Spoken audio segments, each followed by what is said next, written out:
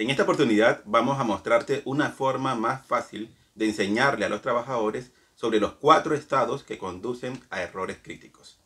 Palabras como complacencia, frustración, fatiga, prisa, son palabras que no son muy comunes en el léxico, en el lenguaje común de los trabajadores. Complacencia, fatiga, frustración.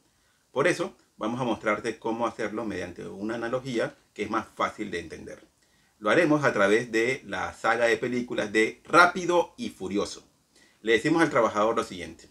Imagínate que tú vas en un taxi y el conductor se acaba de ver la última película de Rápido y Furioso. Entonces se cree Toreto ahí en su auto y él va manejando súper rápido, va a exceso de velocidad. ¿Cómo te sientes tú como pasajero si el conductor se cree Toreto y va súper rápido ahí en las calles de tu ciudad? ¿Cómo te sentirías? ¿Atemorizado? ¿Por qué? Porque el exceso de velocidad, el ir rápido, el ir a prisa, puede causar errores y que cause un accidente. Entonces es el primer caso acá, el, el ir rápido, como en la película. El segundo es furioso. Rápido y furioso. Entonces el segundo caso es furioso.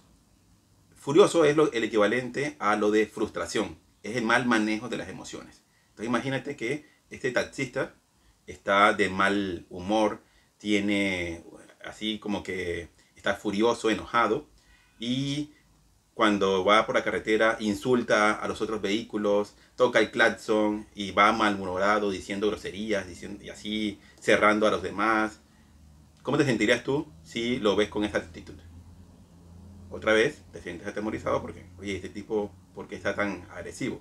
Bueno, esa, eso de estar furioso es como lo de la frustración, el mal manejo de las emociones y efectivamente lleva también a cometer errores. Entonces, del nombre de la película salen los primeros, rápido, que es equivalente a prisa, furioso, que es el equivalente a frustración. Nosotros dos, complacencia y fatiga, los vemos también asociándolos a la película. Lo de complacencia es como exceso de confianza. imagínate que esta persona, este taxista, acaba de ver la película y entonces se cree Toreto y maneja con una sola mano, con la otra mano mira el celular, está súper confiado, tiene demasiada confianza, exceso de confianza, que es lo que equivale a la complacencia. ¿Cómo te sientes tú cuando alguien está conduciendo ese taxi y así con una sola mano mirando el celular, respondiendo, yendo de esa forma tan confiada, que desvía la mirada de la carretera para mirar el celular o o hacer otra cosa que cause distracción porque él tiene demasiada confianza en el momento que va conduciendo. Entonces, esa complacencia es el exceso de confianza acá. Y el último, el cuarto, el tema de la fatiga.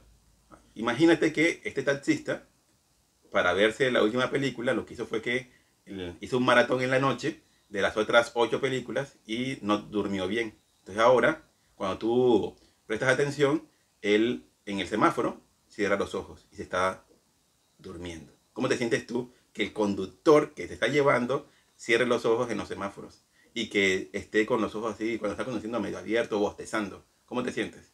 Atemorizado nuevamente porque esa fatiga, el, el hecho de estar cansado, ese cansancio les puede llevar a cometer errores.